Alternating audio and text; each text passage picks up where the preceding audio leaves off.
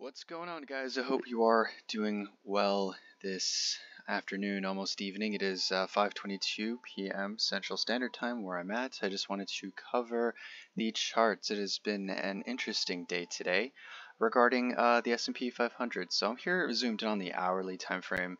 Um, you know, I've been saying this, man, pretty much, and since February, since like early February um, about this descending broadening wedge pattern here. Um, the bottom aspect of it is getting respected on the local time frames. There has been a bounce here at the uh, 3,835 level, and um, yeah, that would indicate a higher low from this particular area here because this was considered a local low.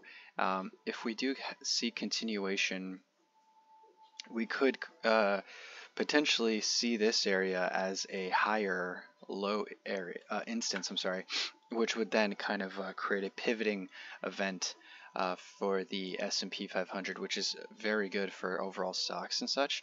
But yeah, um, like I had said prior uh, to many videos, uh, these descending broadening wedge patterns, they break bullish 83% of the time. So uh, as you can see right now, this particular hourly candle is on the verge of trying to break back above this yellow sloping line, which is a historical level in regards to this larger descending broadening wedge pattern. So if the daily candle can retake this level and, con and confirm it as support, that would be uh, really, really, really, really, really bullish. but ultimately, um, realistically, I do expect price to kind of bounce within this uh, zone here, the white lines, to uh, then kind of break out of it, and we can then re uh, test these uh, resistance levels. We do have this red box here where I would expect some uh, issues to pop up in regards to uh, sell-offs, if you will, short-term sell-offs, but ultimately um, I do feel that these, um, well, going back to this particular pattern.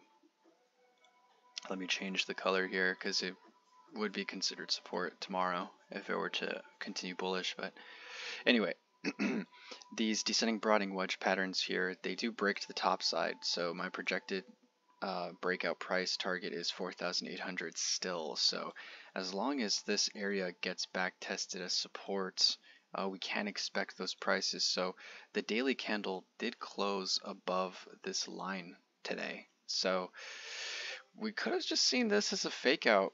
Everything that's happening with the banking systems and everything, and basically the government saying, hey, we're going to give you a blank check. You know, if your bank goes bust or whatever, and you, the depositors need money, like that's pretty much QE infinity, um, which is good for overall um, crypto assets. And as you can see here on the daily chart, we are starting to see the volume weighted average price indicator, this yellow line, point to the upside. It wants to cross back above. And if we were to go um, to the 12 hour, we'd see something similar. Um, if you go to the 6 hour, we do we did have a buy signal uh, the last uh, candle, which is right here. Since then, we've been going to the upside. If you go to the 3 hour, um, we are starting to see uh, the money flow starting to curl back up which is a good sign overall for the S&P 500, which is uh, also a good sign just for crypto assets and tech stocks in general. All right, so I'm going to move on to my favorite chart of today, which is a Bitcoin. Okay, uh, kind of zoomed in here. I'm going to zoom in a little bit more than usual. I'm going to go to the one hour.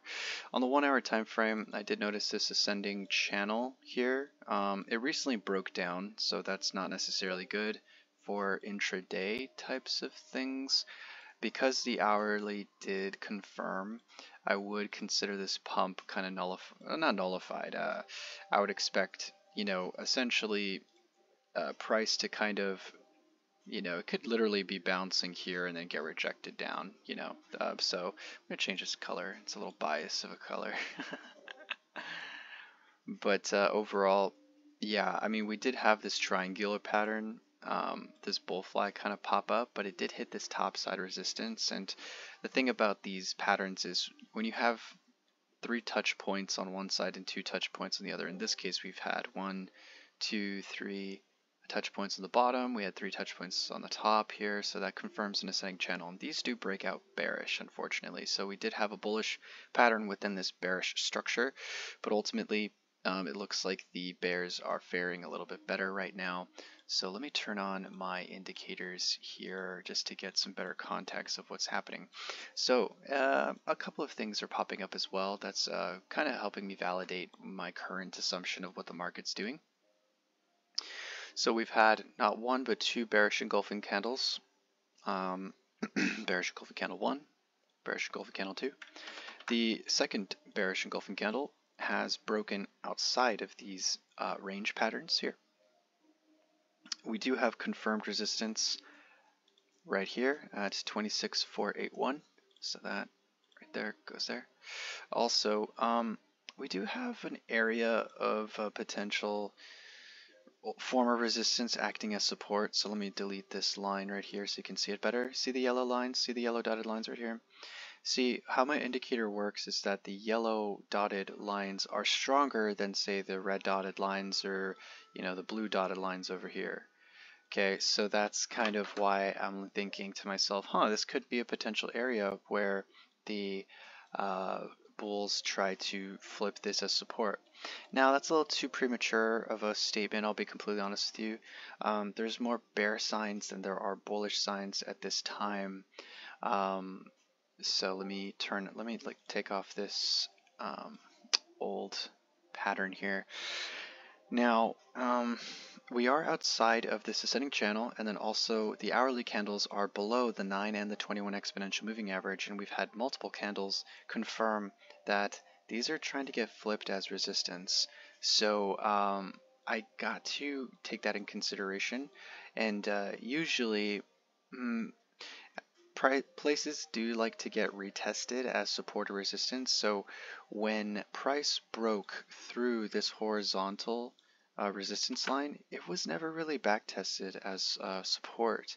So realistically speaking, I could I could actually see a time where we come back down to this level to flip 22.5k as former resistance to support. Uh, now also we do have this uh, line right here. I'm going to turn it yellow so you can see it clearly. We do have this yellow line right here as downward sloping support as well. Um, the reason I call it support is because on the hourly, um, let me zoom in real quick here. We broke this line as resistance, okay? Uh, a couple hours later, we eventually back tested as support. The 9 exponential moving average is held and it continued to rip to the upside. Um, in that process, we've had this ascending channel develop, and now it seems to have played out. You see, it's funny because downward sloping channels are actually bullish in, in, in scope, as you can see when, he, when, it, when it broke out, just ripped to the upside. But also, these ascending channels are quite the opposite. Yeah, they do are they are bullish in the time being, but once they break, they do break to the downside. So it is a smaller version than this particular version here, but uh, yeah, this particular um, uh, pattern did play out. I, as I mentioned in previous videos, usually these descending channels, they break back to the previous area to where they uh, began, and that's exactly what happened, and even overperformed a little bit. So that's good to see. Uh, now, same thing with uh, these particular patterns right here. So realistically, uh, this area is where the channel kind of began you could make an argument that it's like down here. Um, so I would probably either see um, this area right here. Uh, I want to see bullish divergences develop either here or either here, ultimately to create a higher low. I do feel like everything that's happened in, in regarding price and with um, major news events and stuff and regarding the Fed kind of like ending their potential rate hikes and such, I do see this um, as a turning point in the market. And I do feel that the bottom could already be printed, and we're most likely going to be ratcheting up higher lows within the coming year to then um, set up for a huge bull run uh, in 2024 when the Bitcoin halving commences. But yeah, like I had stated before, uh, I do expect maybe like a bounce in this area. Um, this is a little too far-fetched, I'll be completely honest. I'm actually, I don't feel as strong about this particular move right here. Um, but yeah, I would I wouldn't feel too worried if price retraced all the way back down to 22.5 at some point. I do see that as still a zone to to keep your eye on, um, to maybe you know dollar cost average into, or you know uh, kind of if you're currently in a short, maybe that's kind of a place to take your profits depending on your circumstance. I don't know exactly what you're thinking. Not financial advice, of course, um, just uh, probabilities and perspectives.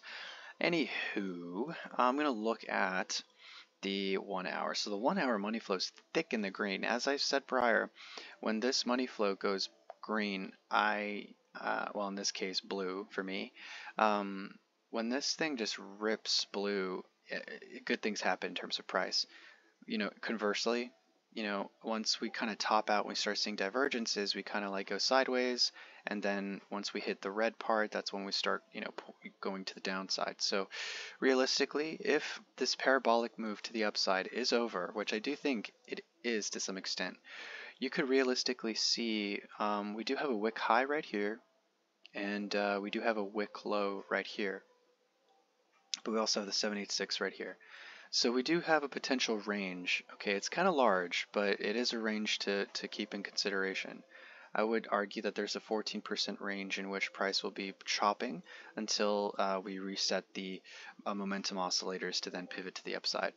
Now, um, we do have a uh, historical, if you if you really zoom out here, this upward sloping um, resistance point, so I would not be surprised if, say, we broke out of this channel, alright, and we just kind of like hit resistance, hit resistance, tapped this to then start coming down. You know what I mean? So don't be surprised if there is another leg to the upside as well, so you have to be very, very careful. Um, so if you are in a short position, I would take this wick top. At, uh, if you were to put like a stop loss, it would probably be right, right above this particular area. Okay, not financial advice, but that's just how traditional traders see local tops. Local wick tops are usually the uh, areas to where people put their stop losses, so that's exactly why I had stated that.